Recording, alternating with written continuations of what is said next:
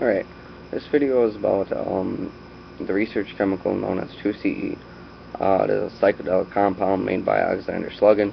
Um, it is considered one of the magical dozen, and for its uh, uh, properties, considering that it um, has high uh, visual effects and um, an extreme um, visual trance, as well as a psychological uh, twist to it.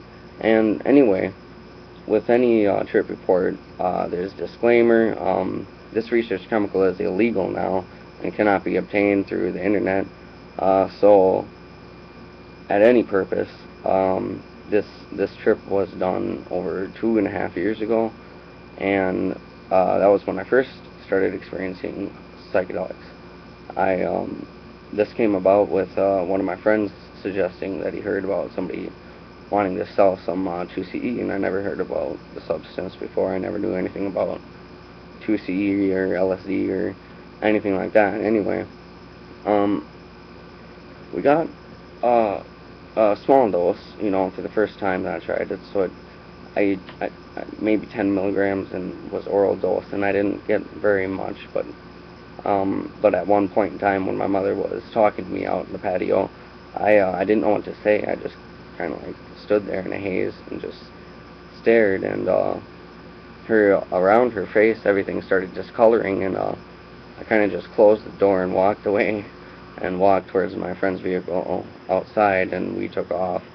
And um, anyway uh, the experience with 2CE at a small dose was rather uh, interesting.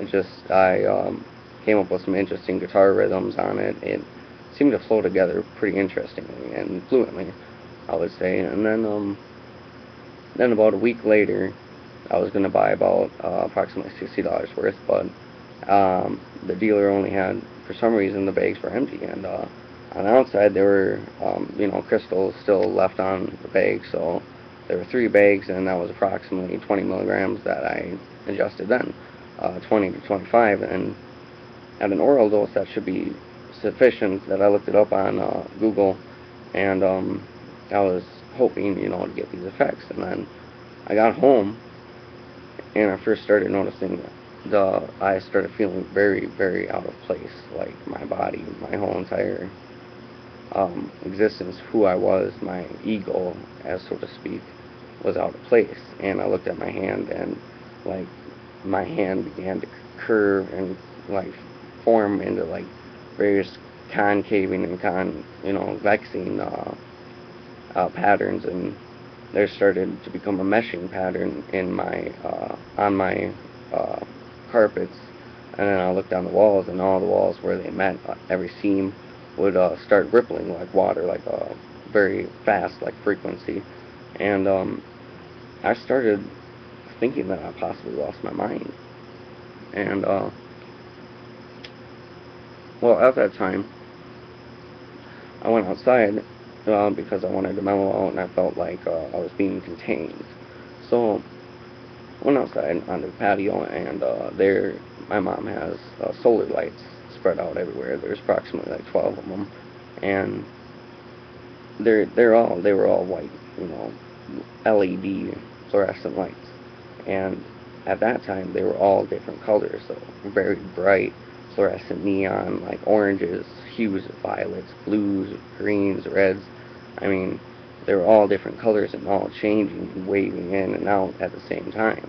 And um, at this at this part, uh, my heart started racing fast, and I remember I uh, I walked off to to the edge of the cornfield where, at that point in time, I found myself um, where, as to the left of my vision, came what appeared to be a spiraling, sort of like looking entity, and it came into the center of my vision and expanded dramatically, and it was huge in size and just constantly spiraling, constantly meshing and moving in uh, different visual patterns and formats of fractal-like patterns.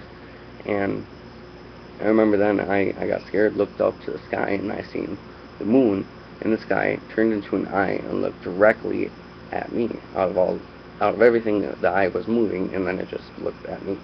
And I, uh, at that point, I, I started freaking out. I didn't know what exactly to do because at that point, there was layers of fog that were bright fluorescent hues of different color. I mean, there were constant geometric patterns moving uh, every step that I took, and um, that was the first trip I ever had um, that everything was just completely out of sorts.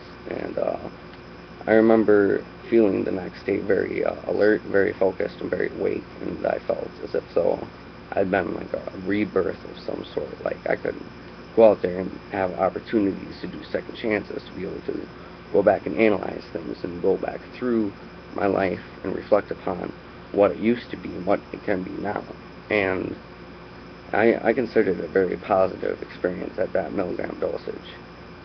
And uh, with that, I will uh, also add the last trip report that I had um, uh, with 2CE was approximately uh, four to five months after that.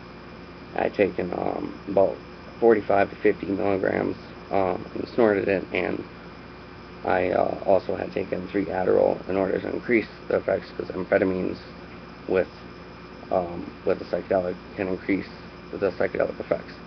And any, anyway, I um, I I got to the jeep, and after uh, after we took it in the jeep, um, we drove back to my friend's house where I was going to stay, and then got dropped off. Right when I got dropped off, I felt uh, immediately my stomach was rising up, you know, and uh, I started feeling sick, and I ran to the bathroom, and I remember that right when I opened up the door, I had my hand over my face like this, and I just threw up. I sprayed through my fingers all over the place and onto the mirror, and I mean, I felt, I felt horrible, and I hurried from ran to the toilet and tried to get to the toilet as quickly as possible.